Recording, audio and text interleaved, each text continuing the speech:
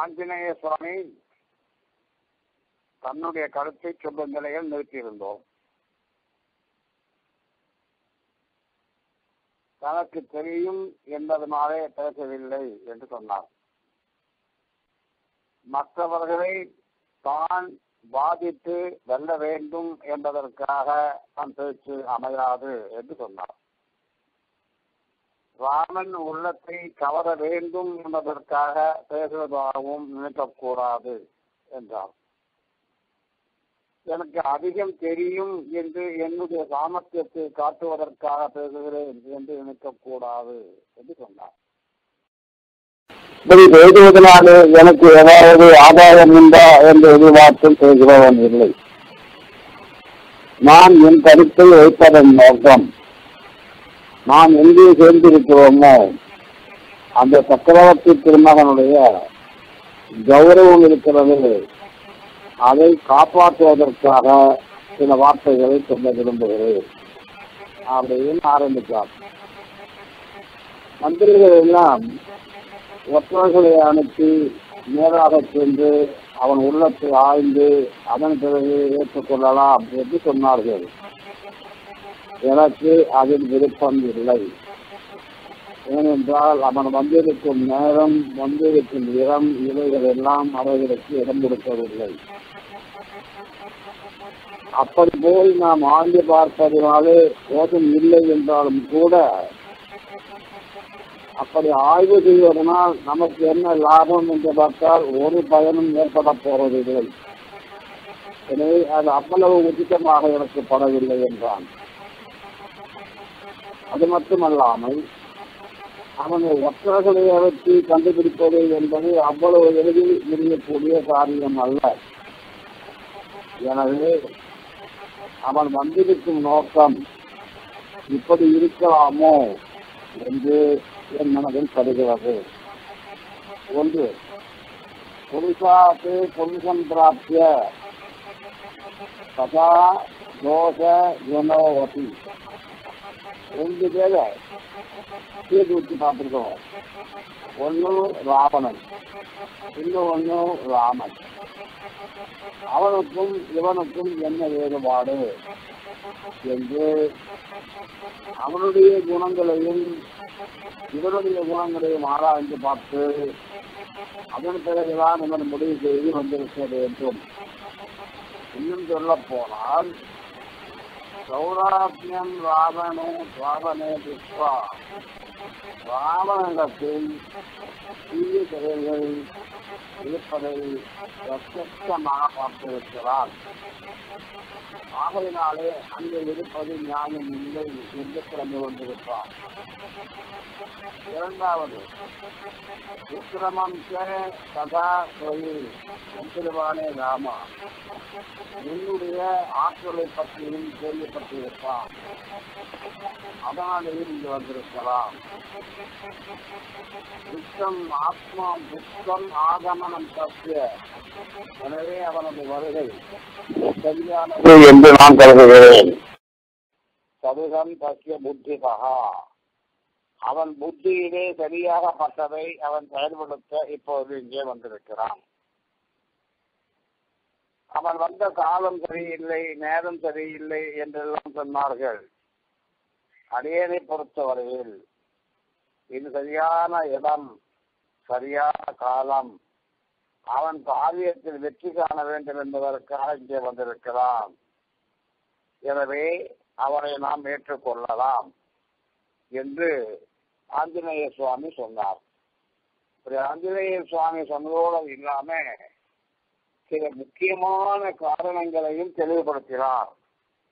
ஒன்று உத்தியோகம் தத சம்பிரேட்ச உத்தியோகம்னா முயற்சின்னு அர்த்தம்.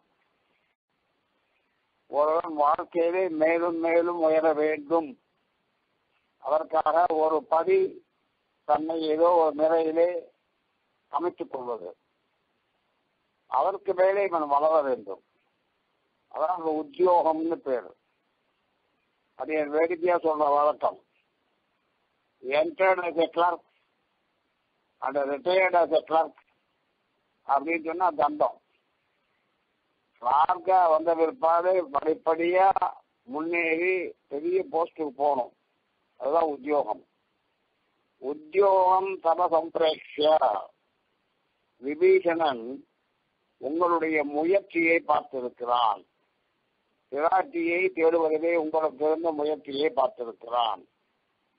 ராவணனிடத்திலே மித்யா விருத்தம் ராவணர் ராவண ராவணனிடத்திலே அவனது பொய்யான வாழ்க்கையை பார்த்திருக்கிறான்.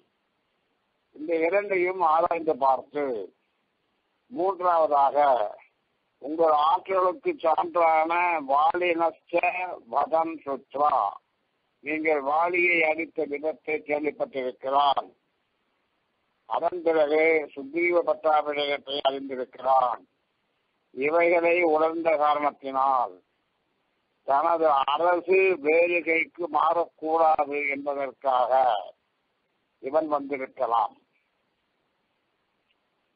அமர்ஷியின் சாதனம் தத்துவா பவந்தம் சரணம் கதா. அதர்ம வழியிலே செல்லுகின்ற ராவணனை பார்த்து அதை தாங்க முடியாதவனாகி அதர்ம வழியிலே செல்பவன் பக்கத்திலே இருக்கக்கூடாது என்று முடிவு செய்து உங்களை அவன் அடக்கிறம் புகுந்திருக்கிறான். எனவே சரியான தேசம் சரியான காலம் இவைகளை பயன்படுத்தி அவன் வந்திருக்கிறான். உயர்ந்த குணத்தோடு வந்திருக்கிறான். எனவே அவன் உள்ளத்திலே அரசை பிரார்த்திக்க வேண்டும் என்ற எண்ணமும் இருக்கிறது. எனவே புத்தி பூர்வம் யுகாகதா ஒரு செயலை செய்வதற்கு முன்னால் அறிவு பூர்வமாக சிந்திக்க வேண்டும். ராஜ்யம் பிரார்த்தியமானச்சா அதுக்கு அர்த்தம் என்னன்னா ராஜ்யத்தின் விருப்பத்தில் எல்லாரும் சொல்லிருக்கா. இல்ல. இந்த போர் கோதர நாட்டிற்கும் இலங்கைக்கும் ஏற்பட்ட போர் அல்ல. இலங்கையை வென்று கோதர நாட்டோடு சேர்த்துக் கொள்ள வேண்டும் என்பதற்காக ராமன் இந்த போரிலே இறங்கவில்லை. ராமனுக்கு உரியதான பிராட்டி இலங்கையில் இருந்ததால் பிராட்டியை அடைய வேண்டும் என்பதற்காக முயற்சியின் விளைவே இந்த போர்.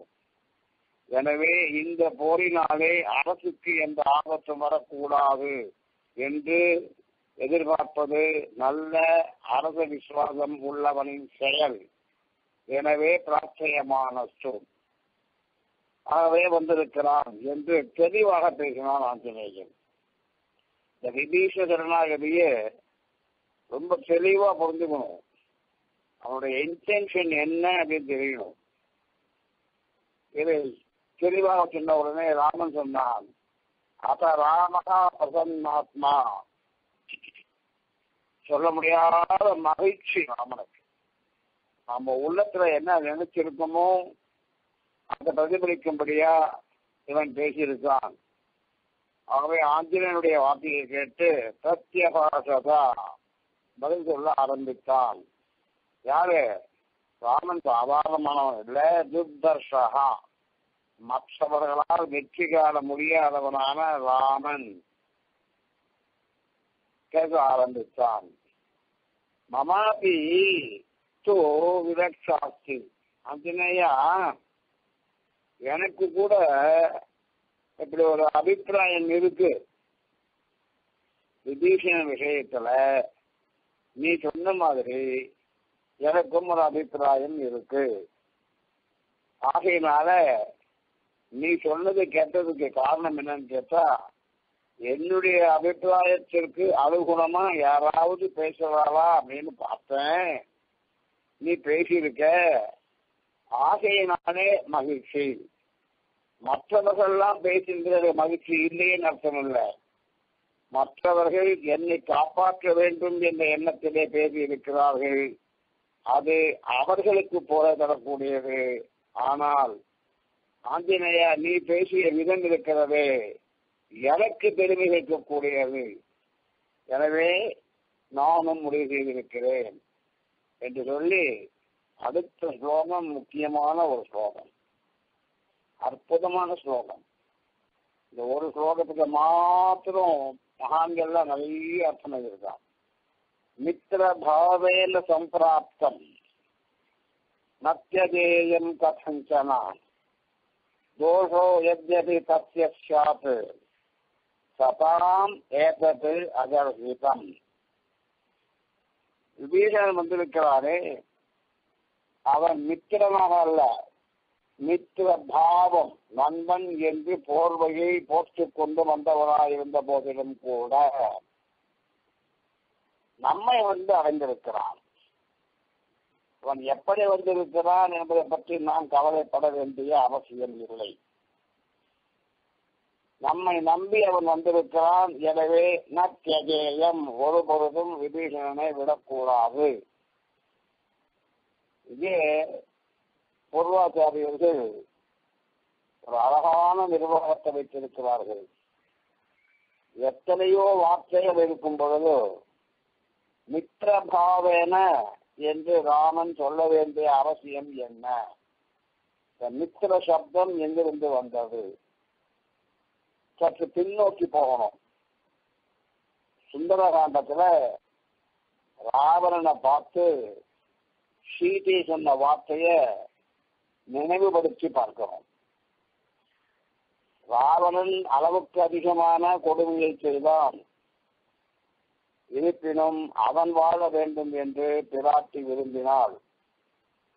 எனவே அவனுக்கு ஹிதமான வார்த்தைகளை சொன்னாள். அப்பா ராவணா நல்லா தெரிஞ்சுக்கோ. என்னுடைய நாயகன் யார் தெரியுமா? அப்படின்னு ராமனை பற்றி சொல்ல ஆரம்பித்தான். விதிதா சரி தர்மஜா சரணாகத வத்சலா தேன மைத்ரி பவத்து தே எது ஜீவிக்கும் என்னுடைய நாயகனாக இருக்கின்ற சக்கரவர்த்தி திருமகன் ராமன் விதிதா அறிய வேண்டிய நல் அறங்களை முறையாக நன்கு அறிந்தவன். விதிதகான்ற ஒரு அற்புதமான வார்த்தை. தெரிந்தவன் வேறு. அறிந்தவன் வேறு தெளிவாக அறிந்தவன் வேறு. இரண்டு தர்மங்கள் வந்தா எந்த தர்மத்தை காப்பாற்றுறதுன்னு ராமனுக்கு தெரியும். சரி தர்மஜா. அந்த ராமன் யார் தெரியுமா? அறத்தையே உயிராக கொண்டவன். அறம் வேறு ராமன் வேறு அல்ல. ராமோ விக்கிரகவான் தர்மஹா. தர்மம் ராமன் என்னும் வடிவிலே வந்திருக்கிறது. ஆகவே அவன் தர்மஜன். தர்மத்திலேயே மிக சிறந்தது எது தெரியுமா? எதிரிகளையும் வாழ வைக்க வேண்டும் என்ற எண்ணம் வருவதுதான் உயர்ந்த தர்மம். ஆகவே அவன் சரணாகத வத்சலகா. யாராக இருந்தாலும் அவனை சரணாகதி பண்ணிவிடுவார்களே ஆனால் அவர்களிடத்திலே வாத்சல்யத்தை காட்டுகின்ற உயர்ந்த குணமுடையவன் சுவாமி தேசியருக்கு இந்த வரி ரொம்ப பிடிச்சது. அதனால அபயப்பிரதான சாரம்னு எழுதினார் சக்கரவர்த்தி திருமகனை படம் பிடித்து காட்டுகின்ற ஒரு வார்த்தை எதுன்னு கேட்டா சரணாகத வத்சலகா அவனை யாராவது சரணாகதி பண்ணிவிடுவார்களே ஆனால் அவர்களை சர்வதா காப்பாற்றுகின்ற சங்கல்பம் உடையவன்.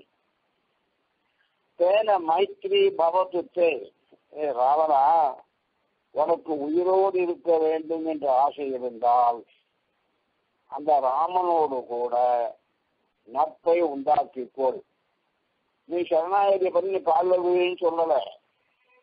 உன்னுடைய ஸ்டேட்டஸ் குறையாம ராமங்கிட்ட போயிட்டு உனக்கு நான் நண்பனாக இருக்கிறேன். அப்படின்னு நட்பு செய்து கொள். மைத்ரி பவத்துட்டு அது ஜீவித்து நிற்கசி நீ பிழைக்க வேண்டும் என்று விரும்பினால் அது ஒன்றுதான். வழி என்று சீதை ராவணனை பார்த்து சொன்னாள். தேன மைத்ரி பவத்துட்டே என்று சீதை சொன்ன உடனே இங்கே கிருஷ்ணந்தையிலே பம்பையின் கரையிலே அமர்ந்திருந்த ராமன் வாயிலிருந்து சதாஸ்து என்று வந்ததாம். காரணம் என்ன தெரியுமா? சீதையின் உள்ளத்திலே ராமனும் ராமனின் உள்ளத்திலே சீதையும் துல்லிய சீல மயோவிருத்தமையோடு ஒன்றாக இருந்ததாகினாலே சீதை நினைத்ததை மனதிலே வைத்துக் கொண்டிருந்த ராவன் மித்திரபாவேன சம்பிராப்தம் மற்ற தேதம் கதஞ்சனா ஆகையதாலே இவனை விடக்கூடாது. தோஷோ எத்யபி தஸ்ய சாத்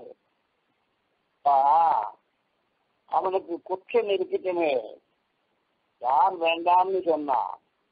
தப்பு பண்ணாத நாட்டுல யாரு? இதுவும் சீட்டை சொன்ன வார்த்தை தான் ஆஞ்சநேய சுவாமி இலங்கையில் திரும்பி வரைச்சு பிராட்டிய பார்த்து சேவிச்சுட்டு வந்தான். கடைசியில பத்தாவது வந்து பிராட்டி கிட்ட கேட்கிறான் இந்த அரசியல் எல்லாம் இவ்வளவு சொல்ல பண்ணால ஒரு வார்த்தை சொல்லுங்களா அழிச்சுட்டு வரேன் அப்படின்னா அப்போ பிராட்டி சொன்னான் அப்பா அவெல்லாம் ஐயோ பாவம்டா. யாரோ வேலை கொடுத்தான். அவன் சந்தோஷப்படணும். அதுக்காக பண்ணான். அதனால அவளை தண்டிக்கிறது நியாயம் இல்லை.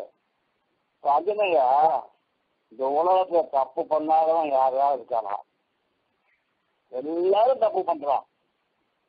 மற்றவருடைய தப்பை நம்ம எடுத்து காரணம் என்னன்னா நம்ம தப்பை மறைக்கிறதுக்காக பண்ற வேஷம் அது. நான் கஷ்டித்னா படம் சேட்டி இந்த உலகத்தை தப்பு பண்ணாதவனே கிடையாது. டிகிரி இருக்கலாம் வித்தியாசம் இருக்கலாம் அதுவும் ஒன்றும் தெரியும் இல்லை.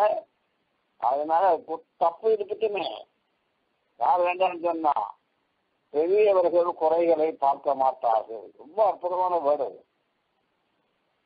சதாம் ஏகத்து அதர்ஹிதம் நான் குற்றங்களை பார்க்க மாட்டேன்னு சொன்னேன்னா ராமன் கேரக்டர் இருக்காது பெரியவா என்ன அனுஷ்டானம் வச்சுட்டு இருந்தாலும் அதைத்தான் நான் அனுஷ்டானம் இருக்கின்றது அனுஷ்டானம்னா நடைமுறைன்னு அர்த்தம். ஆச்சாரம் வேற அனுஷ்டானம் வேற.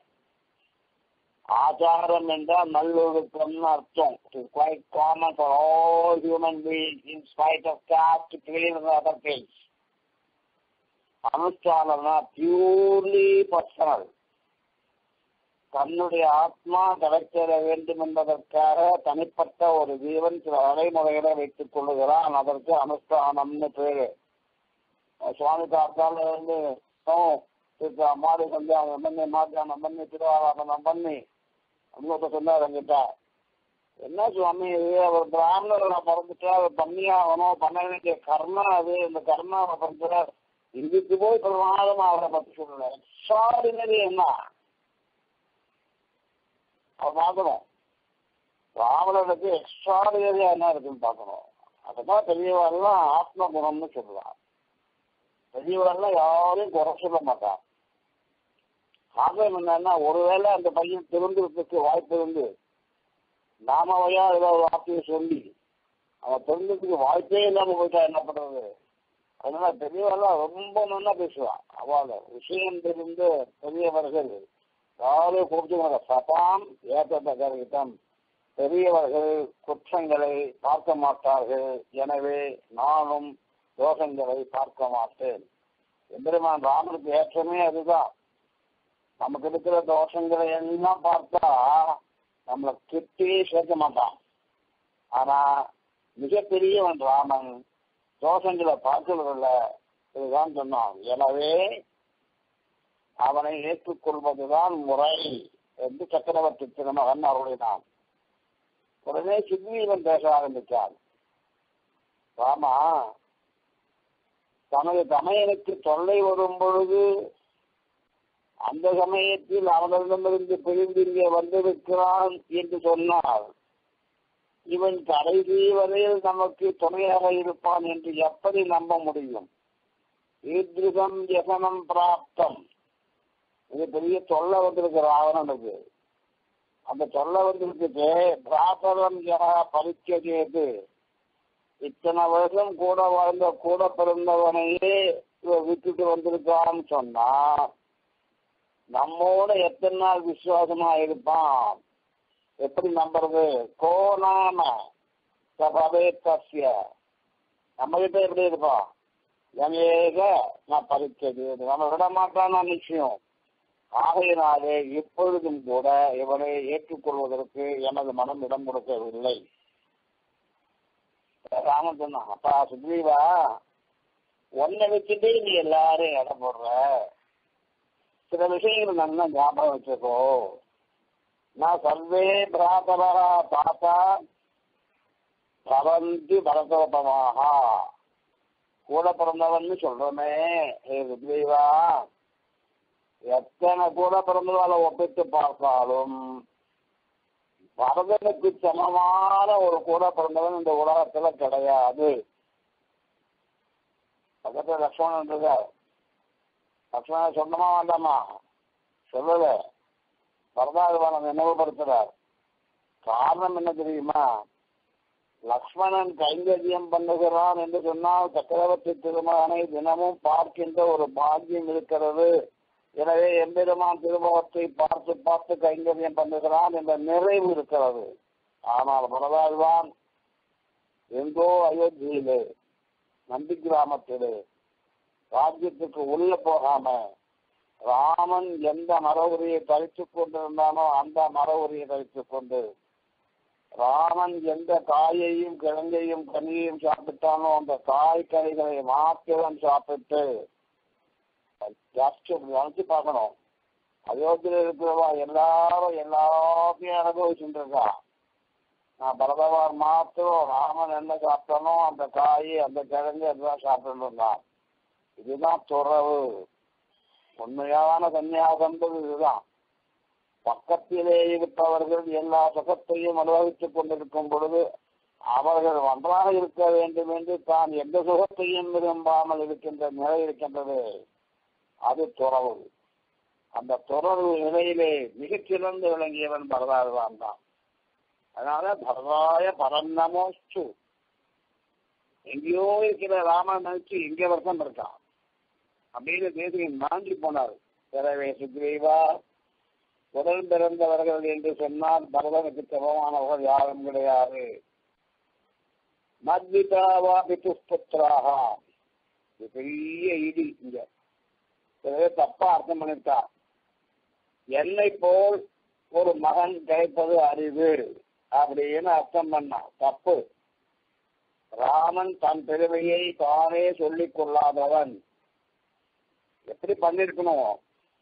தகப்பனாரை அடைந்ததில் நான் அடைந்தது போல ஒரு நல்ல தகப்பனாரை அடைந்த மகன் இல்லை என்று பெருமையை தகப்பனார் பேரிலே போட வேண்டும். எத்தனையோ பேருக்கு பிள்ளைகள் இருக்கா அப்பா இருக்கா எல்லாம் இருக்கா. ஆனா எனக்கு அப்பா அமைஞ்ச மாதிரி இந்த உலகத்துல யாருக்கும் அமையல. பதினாறு வரைக்கும் காட்டுல வாழ சொன்ன நிலையை மறந்து மத்மிதா வா புத்திரா நண்பன்னு சொன்னா சுக்ரீவா சுகுதோவா பகவத்கீதா ஒன்றை போல நண்பன் கிடையாது. ஆகையாக நம்ம ஒரு உதாரணமா வச்சுட்டு விபீஷணனை இடம் போடக்கூடாது. உனக்கு என்ன பயம்? இவனால் எனக்கு ஆபத்து வர போறது அப்படின்னு பயப்படுற இல்லையா? ஒரு விஷயம் சொல்லி ஞாபகம் வச்சுக்கோ. சுதிஷ்டோவா அப்படி அதிர்ஷ்டோவா? அவன் துஷ்டனோ அல்லது துஷ்டன் இல்லாதவனோ. கிண்ணேகரகவீதரா இந்த ராட்சசனை பத்தி நீ ஏண்டா கவலைப்படுற? அவனை சேர்த்துக்கணும்னு சொன்னா நான் கவலையே படல. ஒண்ணு நல்லா ஞாபகம் வச்சுக்கோ. யாரா இருந்தாலும் சரி சூக்ஷமா மாப்பை அதிகம் கர்த்தும் ஒரு அணு கூட எனக்கு ஹிதம் இல்லாத பண்றதுக்கு முடியாது. எவ்வளோ எவ்வளவு ஆற்றல் உள்ளவன் இருந்தாலும் சொல்றான் எவ்வளவு அறிவுள்ளவனா இருந்தாலும் சொல்றான் சூக்ஷமா மாப்பி சிறிதளவு கூட எனக்கு ஹிதமில்லாத காரியத்தை பண்ணுவது என்பது நடக்காத காரியம். நான் ஒரு வீரங்கிறதை இவ்வளவு அழுத்தம் திருத்தமா சொல்றான் ஆகையினாலே இந்த விபீஷனை சேர்த்துக் கொண்டால் இவன் அடித்து விடுவார் என்று நினைப்பது தவறு. மமாசக்தகா கபஞ்சமா என்ன ஒன்னும் பண்ண முடியாது. இன்னும் ஒரு படி நேர போறான். ஏ சுக்ரீவா சொல்ற கேளு. பிசாசான் தானவான் யக்ஷா பிருத்திவியாம் தெய்வ ராட்சசான்னு இந்த பேய் பிசாசிகள் இருக்கா இல்லையா அதுவா இருந்தாலும் சரி அரக்கர்களா இருந்தாலும் சரி யக்ஷர்களா இருந்தாலும் சரி அரக்கர்கள் மட்டும் இல்லாமல் நிஷாச்சரர்கள் இளமையை சந்தரிப்பதா இருந்தாலும் சரி யாரா இருந்தாலும் என்னை எதிர்ப்பார்களா யாரால் யக்ரேன தான் கன்யாம் விரல் நுனியினாலே அவர்களை எல்லாம் அழித்து விடுகிறேன். ஞாபகம் வச்சுக்கோ. என்னை யாரும் எதிர்க்க முடியாது. எதிர்த்தால்னா யாரா இருந்தாலும் சரி அங்குள் தான் கன்யாம் இச்சனை விரும்பினேன்னா விரல் நுனியில வச்சு அவன் அத்தனை பேரையும் அழிச்சுடுவேன். ஞாபகம் வச்சுக்கோ. ஹரீஸ்வரா வானத தலைவா சாதாரணமா இடம் போட்டுவிடாத. எவ்விதமா ராமனுடைய மன உறுதி இருக்க? இவ்வளவு உறுதி இருக்க ஏன் யோசனை கேட்டான்னா தான் எவ்வளவு ஆற்றல் உள்ளவராக இருந்தாலும் தன்னோடு இருப்பவர்கள் மதிக்கப்பட வேண்டும் அவர்கள் வார்த்தையை கேட்கப்பட வேண்டும் அவர்கள் மன மகிழ்ச்சிக்காக கேட்க வேண்டும்.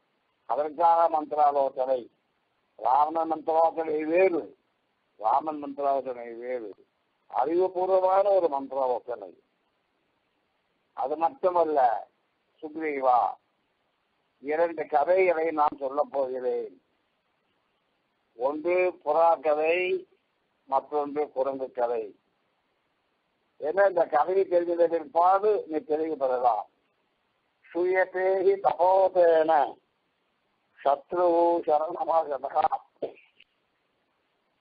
யதா நியாயம் ஸ்வைத்த மாம்பரி நிமந்திரிதா அப்பா சுதீவா ஒரு கதை சொல்றேன் கேளு. ரெண்டு பறவைகள் இரண்டு புறாக்கள். அந்யோன்யம் ஒன்றே ஒன்று பிரியாமல் இருக்கின்ற புறாக்கள். ஒரு மரத்துல உட்காண்டிருந்தது ஒரு நாள் அந்த காட்டுல ஒரு வேடன் வந்தான். எங்கெங்கோ அலைஞ்சான். அவனுக்கு எதுவும் கிடைக்கல. கடையில பார்க்கலாம் அந்த ரெண்டு புறாவில ஒரு புறாவை அடிக்கிறான் அடிபட்ட பெண் புறா கீழே விழுந்துருச்சு. இந்த பெண் புறாவை எடுத்துட்டு அந்த கூடையில போட்டு கிளம்புறான். கொஞ்ச தூரம் போனா திடீர்னு மழை வந்துருச்சு. திடீர்னு மழை வந்ததுனால அந்த மலைத்தடையிலேயே வந்து தங்குறான். மேல ஆண்புறா பார்த்துட்டு இருக்கு கீழே தங்குற வேடம் இருக்கானே உடம்பெல்லாம் மழையில நனைஞ்சு குளிர்றது உதறது. அவன் நிலையை பார்த்து பரிதாபப்படுறது.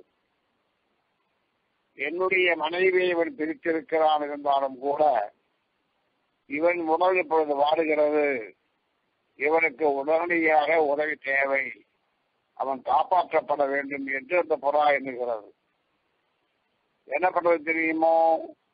அவன் குளிர் காய வேண்டும் என்பதற்காக எங்கெங்கோ சுற்றி அலைஞ்சு உலர்ந்த சுள்ளிகளை எல்லாம் கொண்டு வந்து தீயை மூட்டி அவன் குளிர் நடுக்கம் போவதற்கு உதவி செய்தது. அதுக்கு மேல அவன் ஏதாவது ஆகாரம் சாப்பிட்டாதான் உஷோடு இருப்பான் அப்படின்னு தெரிஞ்சுட்டு தான் அவனை வளம் வந்து கீழே விழுந்து இறந்துபட்டு தன் இறைச்சியை அவனுக்கு உணவாக்கியது. ஒரு புறா திடீர் ஜந்து. எங்கேயும் போய் பாடம் படிக்கல. யாருடையும் சாஸ்திரம் கேட்கல.